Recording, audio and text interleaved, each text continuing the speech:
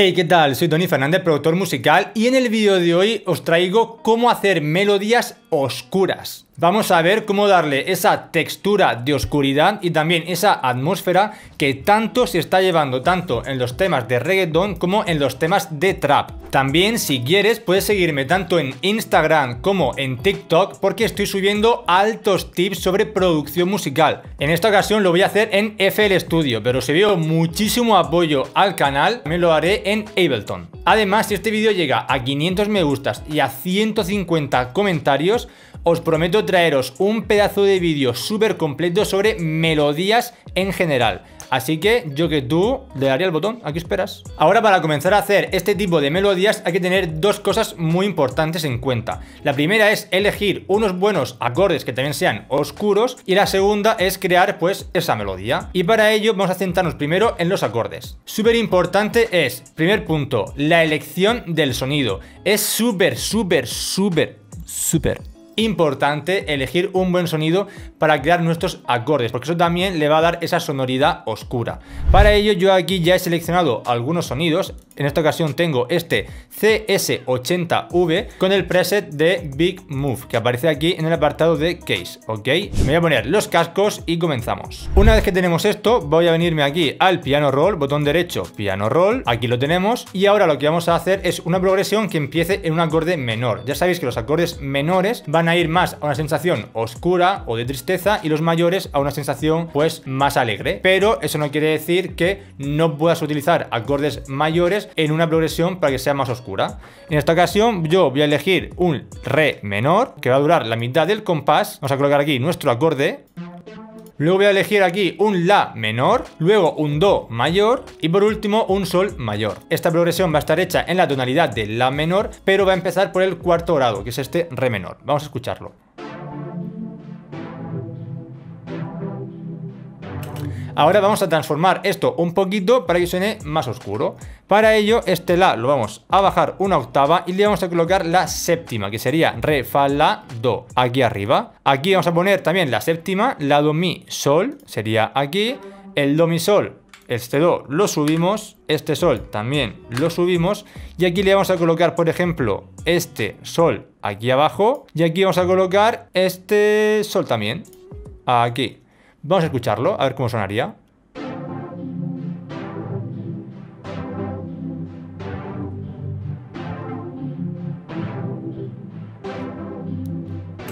Bueno, vemos que suena también un poquito oscuro. Ahora, para que esto suene todavía más oscuro, vamos a hacer lo siguiente.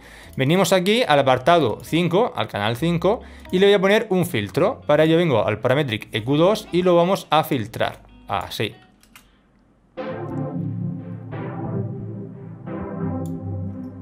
También súper importante añadir reverb para crear esa atmósfera de oscuridad. Así que vengo aquí al Valhalla Vintage Bear, que lo tenemos aquí, y vamos a crear un poquito de atmósfera. Ahora sí. También le vamos a quitar un poco de frecuencias graves para que no ensucie demasiado. Venimos aquí. Ni tan mal, ¿no? Y ahora, ya que tenemos elegida esta progresión de acordes, vamos a ir con el segundo paso que es crear nuestra melodía. Para ello tengo este sonido que ya de por sí suena bastante oscurito, por eso he dicho que es súper importante la elección del sonido, tanto para crear cosas oscuras como para crearlas también alegres. Súper importante el sonido. También es súper importante que te suscribas al canal, porque si lo haces, además de que suba más contenido de melodías, como ya he dicho, tus beats de reggaetón van a subir al siguiente nivel. Porque por aquí te voy a estar dejando una lista de reproducción con vídeos de cómo hacer reggaetón, que va a estar espectacular. Ahora como segundo paso, después de la elección del sonido, tenemos que crear una melodía que tenga pocas notas y que sea un poco repetitiva. Para ello vamos a hacer lo siguiente, vamos a poner la primera nota en el La y la segunda nota vamos a hacer un salto entre la nota primera y el resto de notas y después vamos a intentar que las notas tengan la menor distancia posible. ¿Cómo lo conseguimos? Pues bien, como vemos aquí tenemos este Fa y este Mi que tiene una diferencia de un semitono. Entonces vamos a jugar con esta pequeña distancia para crear estas melodías más oscuras. Entonces voy a colocar aquí, por ejemplo, una nota y luego aquí en el re.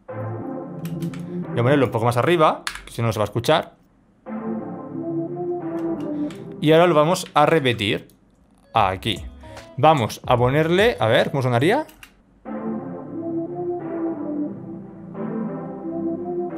Y vamos a ponerle un poquito de reverb, ¿vale? Sobre todo para que se note más todavía. Le ponemos aquí la reverb, ahí la tenemos.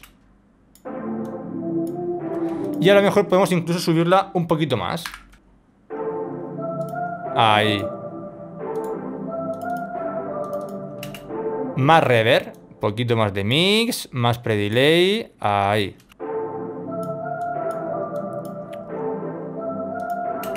Ya diréis, vale, suena oscuro, pero yo quiero algo que suene súper oscuro. Pues un tip para que suene todavía más oscuro es que vamos a utilizar las menores notas posibles en nuestra progresión. E incluso, atentos, ¿eh? Vamos a quitar la progresión de acordes, la vamos a eliminar y vamos a dejar solamente un bajo que haga la nota tónica de cada acorde. A ser posible, un bajo que sea un Ris bass. Entonces, yo voy a venir aquí, voy a elegir el serum, que lo tenemos más o menos por aquí, y voy a elegir un preset de Splice que tengo descargado. Si no usáis Splice, no sé qué mierda estés haciendo, usadlo ya. Así que me voy a venir aquí a Splice y donde pone Flun Ris, es un Ris Bass que yo utilizo bastante, pues voy a crear en el número 7, vamos a crear también con las notas tónicas de cada acorde, pues lo siguiente.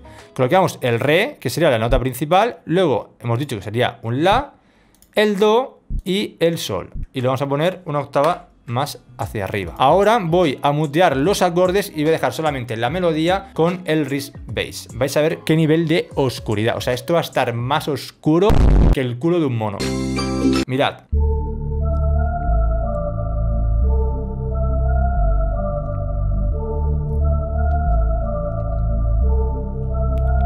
O sea, más oscuro que eso no hay, ¿vale? E incluso, si queréis, podemos hacer que esta melodía, si la distorsionamos un poquito, voy a bajar el Vintage Bear aquí abajo. Para hacer esto lo tenéis que hacer con la ruletita del mouse.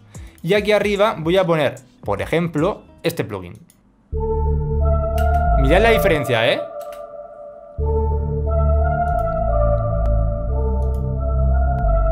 Y también vamos a filtrarlo todo un pelín, pero muy poquito. Así que elijo el Parametric EQ2, lo ponemos así.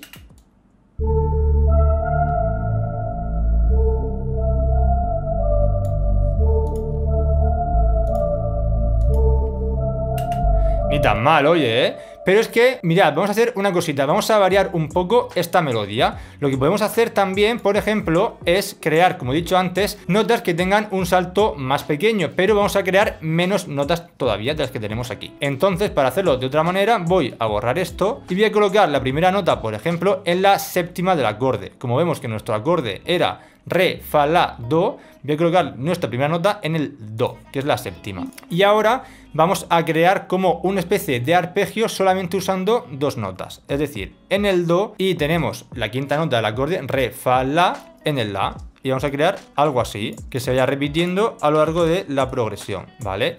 Y aquí en la, la siguiente parte lo vamos a variar. En vez de ponerlo en el la, lo vamos a bajar en el sol. Vamos a escucharlo ahora.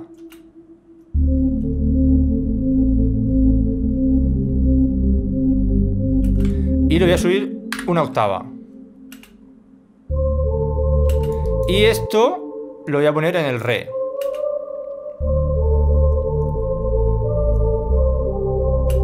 Y lo bajamos... No, en el re también. E incluso esto lo voy a poner en el mi y esto en el re.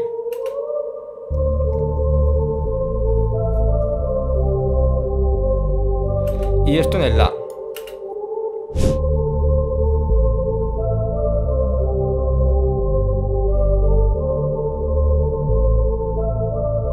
Si yo llevar esto todavía a un nivel superior, le ponemos aquí un LFO Tools, ¿vale? Y esto va a ser ya una locura. Mirad cómo va a sonar esto. Y ya, si le añadimos los acordes, lo que vamos a hacer es quitar notas. Voy a quitar, por ejemplo, esta nota de aquí. Y voy a quitar también estas dos. De tal forma que solamente vamos a dejar dos notas. Así. Vamos a añadírselo a ver cómo quedaría.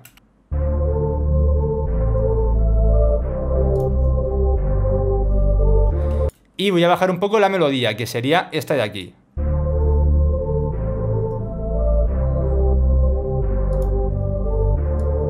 Subimos un poco el volumen.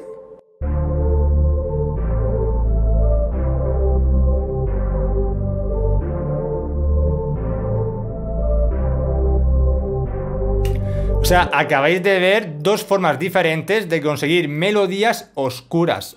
O sea, increíble. Y hasta aquí el vídeo de hoy, espero que te haya gustado, si ha sido así ya sabes, déjame aquí abajo un like y también un comentario que me diga quiero más vídeos sobre melodías. Y si llegamos a la meta que te he dicho antes, traeré más vídeos más específicos y más avanzados sobre esto. Ya no me enrollo más y nos vemos en el próximo vídeo. ¡Chao!